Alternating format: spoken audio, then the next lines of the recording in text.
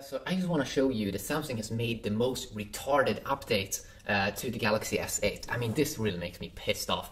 So, I mean, I mean, really, Samsung, please. This is this is the most retarded update I've ever seen in the entire universe. So, let's see what they have done.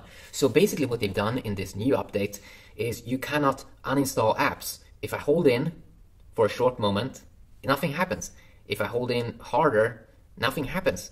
If I try to go in here and uninstall an app, I hold it in, but it only wants me to drag it out to the stupid home screen. Of course, that's not what I want to do.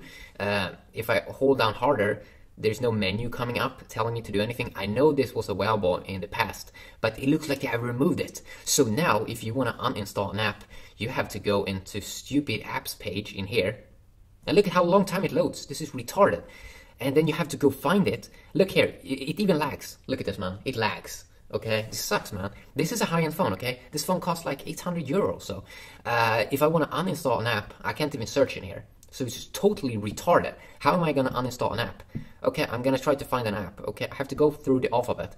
It's so stupid, okay? This is the most stupidest update I've ever seen in the entire universe. Thanks, Samsung.